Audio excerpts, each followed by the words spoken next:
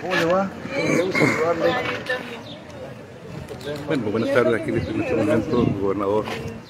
Hola, ¿cómo estamos, señor gobernador? Trabajando, trabajando, qué bueno les ha ido. Y bien, gracias. Quiero saludarles. No, justicia a las mujeres de aquí de Santiago y varios municipios. Sí, hombre, yo creo que es una justicia postergada, pero que se la estamos dando en la medida de lo posible.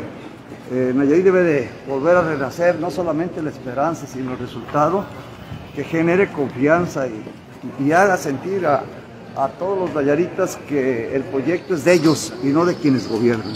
Trabajando la mano con el gobierno del municipio que encabeza Eduardo Lugo. Sí, yo tengo un gran aprecio por Eduardo, lo aprecio mucho, y es un gran amigo y además coincidimos en, en- en la manera de, de- de- de- de ver la responsabilidad pública. Y se ha visto, ¿no? Porque ya ve que los ha habido grandes destrozos y usted ha estado ahí. Claro, claro, y seguiré estando con él, sabe que lo aprecio y lo confío mucho en él. Ok, muchas gracias. Hasta luego. ya.